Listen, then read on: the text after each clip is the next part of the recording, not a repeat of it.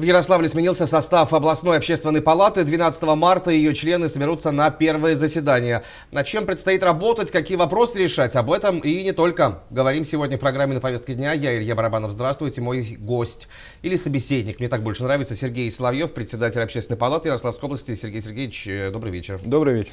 Ну что, возможно поздравить, выборы позади. Выборы членов общественной палаты состоялись, как вы прекрасно знаете, по трем э, спискам. Это список, который утверждает губернатор Ярославской области, mm-hmm. это список, который утверждает Ярославская областная дума, и третий список это э, те э, члены палаты, которых первых, первые два списка э, выбрали в свой состав. Поэтому такая система многоступенчатая и позволяет такой многоступенчатый и качественный отбор произвести в члены общественной палаты. Я пока не хочу, да уже и не попаду. А если захочу, и как попасть? Э, сейчас, конечно, вы уже не попадете. Вот я через, про это, да. Через три года вы спокойно подаете заявление, выбираете, значит, э, общественную организацию, которая, соответственно, вас выдвинет, потому что как, как э, физическое лицо нельзя подать документы. Uh-huh. Если общественная организация, э, региональное отделение федерального уровня, то, соответственно, подаете в список губернатора. Если областная общественная организация, то, соответственно, в список Думы. Если местная общественная организация, городская, например, то, соответственно, в список, в, в третий список. То есть нужно найти организацию, которая вас выдвинет прежде всего. И дальше уже э, будут будут выборы, соответственно, отбирать лучших э, в общественную палату. Сергей Сергеевич, в принципе, в самом названии уже все прописано. Из самого названия все понятно. На общественных началах все происходит. Конечно. В чем, собственно, интерес? В какой-то своей принципиальной позиции к тому или иному вопросу? Ну, в том числе это, во-первых, и принципиальная позиция. У нас в палате люди совершенно разных отраслей, разных профессий. То есть это учителя, К врачи. этому вернемся. Да, к этому вернемся. Но тем не менее, то есть люди... Э, в чем интерес? интерес? Вот зачем вы там? Зачем? Я представляю, ну, я как руководитель крупнейшей областной профсоюзной угу, организации, да. соответственно, площадка общественной палаты позволяет мне продвигать э, те вопросы, которые, которые необходимы. Это и повышение заработных плат, это защита прав интересов трудящихся. То есть это орган, который э, дополнительно расширяет возможности... Э, и ваши полномочия. И, ну, да? ну, не полномочия, а возможности лоббировать, ну, по сути, в хорошем смысле лоббировать э, те или иные э, интересы той или иной общественной организации. Uh-huh. Также в палате есть представители работодателей, крупнейших объединений работодателей, и для них это тоже интересно. Э, позволяет более близко общаться с, с профильными департаментами и с руководством области. Кто вы, общественники? Возрастной разброс. А, представители каких сфер, если вот не дотошно по профессиям? Такой хороший разброс. Есть и молодежь, представители молодежи, студенчество даже. Ну, сколько лет а, а, примерно? 20, 22. Так. Ну, есть и заслуженные наши э, люди, наши коллеги. Например, Турсулам Далимович, он будет, наверное, mm-hmm. открывать, Ахунов, он будет открывать заседание палаты как самый старейший, э, самый мудрый член значит, общественной палаты, что ну, по закону и считается. То есть вот такой вот у нас э, возрастной. То есть люди среднего возраста, люди, ну, совершенно разные люди. Тут трудно как-то говорить, что, э, ну, это точно не палата, где собрались почетные старцы, как, э, как раньше было принято Не говорить. палата лордов. Не палата лордов совсем. То есть это разный спектр совершенно активнейших людей, то есть не, не пассивных, а именно активных.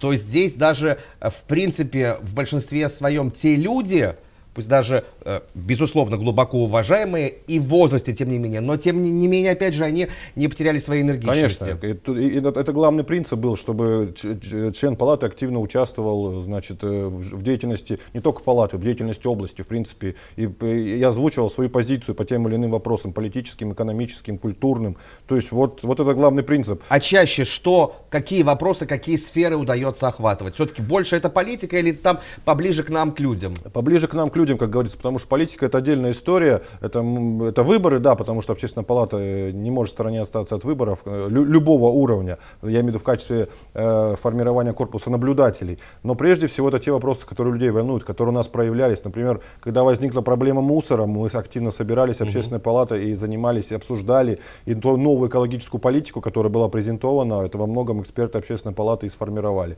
Сейчас, например, было озвучено, что всем детям должны, значит, э, дошкольного, ой, ну, младшего школьного возраста да -да. обеспечивать горячим питанием. Мы организовали мониторинг значит, горячего питания, несмотря на то, что значит, школы Понятно, доступ ограничен, но нашли рычаги, как это можно сделать.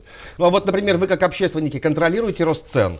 Сейчас это даже уже на уровне федерального правительства обсуждаются, есть конкретные поручения, данные господином Мишустиным. Угу. Ну а вот вы ведь тоже, знаете ли, можете все это контролировать? Ну, видимо, и, не... до, и докладывать кому следует. В виде мониторинга, конечно, мы э, раз, различные виды мониторинга. Если будет необходимость мониторить цены, мы будем, значит, соответственно, мониторить цены. Пока такая... такая пока такой задачи пока нет. Пока такой задачи угу. не стояло. Мы больше качества качество, значит, мониторили качество услуг предоставления детских, э, различных. Сейчас спортивные площадки, которые у нас строятся э, по разным программам, будем мониторить на, в качестве безопасности этих спортивных площадок и качества их, их, их установки. Будет необходимость цены, значит, пойдем в магазин и будем переписывать, по сути, цены и сравнивать их с тем, что было. Но у вас все равно все, что есть, соответственно, а, к, за это и цепляемся. То есть зимой это в первую очередь, особенно как в этом году, это уборка, конечно. Это уборка. А, весеннее, летнее, скажу так, осенний период, это многочисленные ремонты, касающиеся и э, дорог, и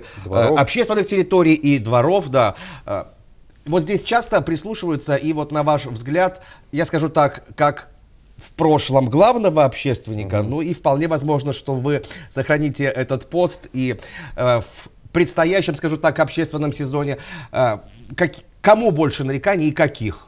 Вы имеете в виду к власти или... Ну, я имею в виду, что и к власти может быть, где недоконтролировала, и к подрядчикам, которые, угу. ну, вот не совсем адекватно слышат, а может быть даже и принципиально не хотят ну, вот слышать. именно по, по ремонту дорог у нас есть профильная комиссия, которую у нас известный общественник Анатолий Игоревич Падышев возглавляет, и он очень, очень внимательно... Вот уж да! Он, он, он, он очень принципиально и внимательно, его, его все знают, и подрядчики, и органы власти, и знают, что он человек профессиональный, и вникает во все вопросы. И он не один такой, Антон Игоревич, у него комиссия хорошая. Соответственно, по другим э, отраслям тоже здравоохранения, да, когда это необходимо было. У нас, есть, у нас есть комиссия по здравоохранению, и там тоже высочайшие профессионалы, члены общественной палаты.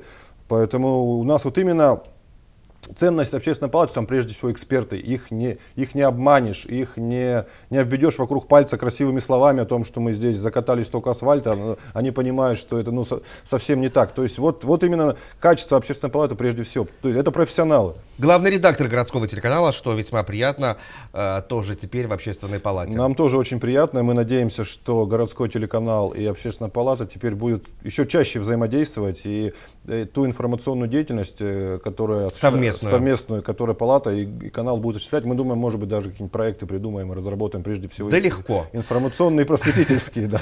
Сергей Сергеевич, немного времени остается, но я не могу этот вопрос обойти стороной. Выборы, выборы ведь э, в сентябре. И все так сразу вздохнули, и вы, и я, но придется, что называется, потрудиться в правильном русле. Э, вот здесь, наверное, на вас тоже большие надежды, не на вас лично, а в целом на общественную палату.